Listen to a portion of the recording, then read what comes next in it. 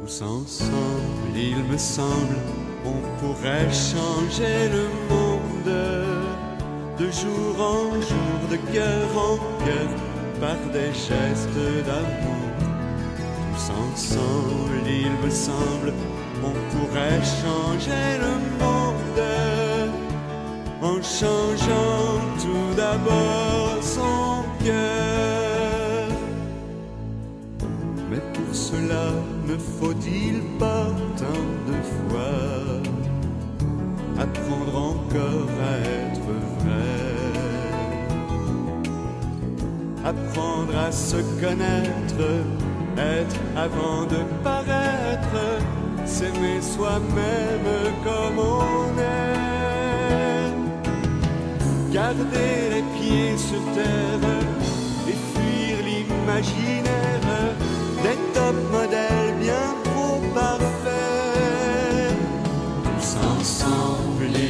on pourrait changer le monde de jour en jour, de cœur en cœur, par des gestes d'amour.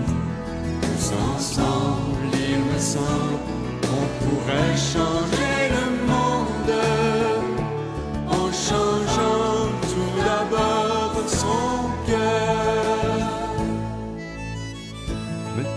cela, ne faut-il pas tant de fois. Apprendre encore à faire tomber les murs d'indifférence. Le Père général dit, comme la Vierge Marie est une dame de peu de parole, nous aussi nous invite à éloigner de nous cette façon d'être humain, qu'on dirait les Italiens, il a utilisé pettegolezzo, ça veut dire les commérages, d'éviter les commérages, d'éviter de détruire l'autre, mais c'est plutôt d'être ensemble pour continuer cette mission. Ce sont les deux paragraphes qui m'ont beaucoup inspiré et en lien avec les lectures d'aujourd'hui, le Magnificat, la joie, la mission que nous recevons. Comme disait toujours notre fondateur Joseph Alamano, que ce n'était pas lui qui avait fondé cette congrégation, le missionnaire de la Consolata, c'est plutôt la Vierge Marie. Il a placé la Vierge Marie en premier lieu, au centre de la fondation de cette mission.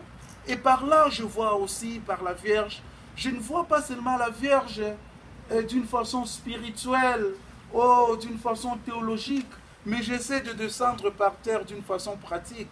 Je vois la Vierge comme la maman. Souvenez-vous de vos mamans. Et vous êtes aussi les mamans. Quel est l'amour que le maman donne?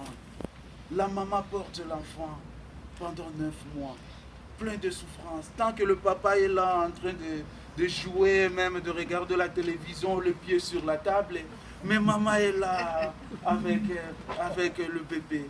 Et quand la, elle met au monde, la maman garde toujours l'enfant. En tout cas, moi, partant de ma petite expérience, je ne peux jamais comparer l'amour que j'ai reçu de ma mère. Et je crois que vous aussi. Et c'est cet amour-là que vous, vous offrez aussi à vos enfants. Maintenant, allons, quittons ce monde pour aller au-delà. L'amour maintenant de la Vierge Marie, qui doit être plus grand que ça, de ne pas voir le monde être soumis à la destruction. Elle a voulu elle-même accepter d'être la mère de notre Sauveur Jésus-Christ. Et c'est cet amour-là que nous témoignons chaque jour à travers nos services que nous faisons ici.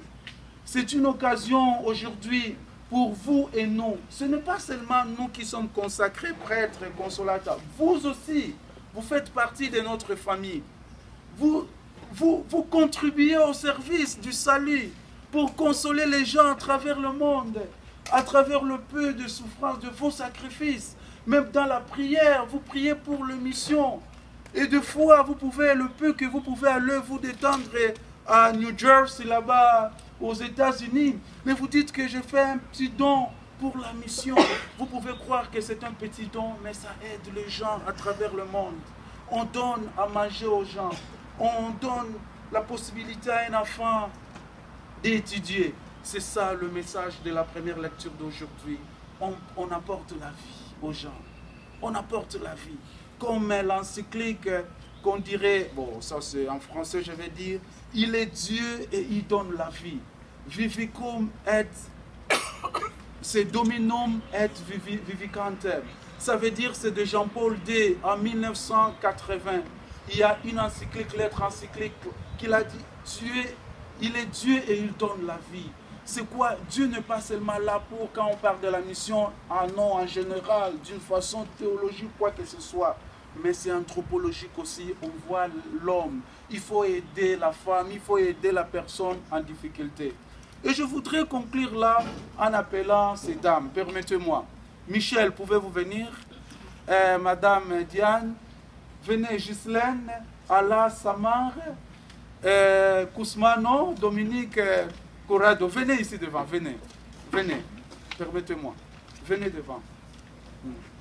Madame Ala, venez aussi.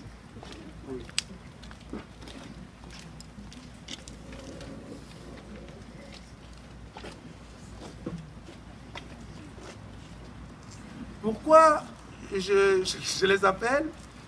Ce sont nos dames qui sont ici du jour au jour avec nous dans ces services-là. Pour dire... oui, je, suis en train de continuer, non? Je parle d'abord des, des, dames, après des hommes aussi, qui sont avec nous. Je ne vous parlerai pas de leur tâche, sinon on n'a pas assez de temps. Mais pour dire que aujourd'hui, je voudrais leur leur dire en votre présence, et Dieu nous voit, la Vierge Marie nous voit aussi, que non, toutes ces personnes que vous voyez sont très importantes aussi, font partir de notre famille, comme vous autres aussi. Ne pas reconnaître leur service, c'est vraiment être un peu trop méchant.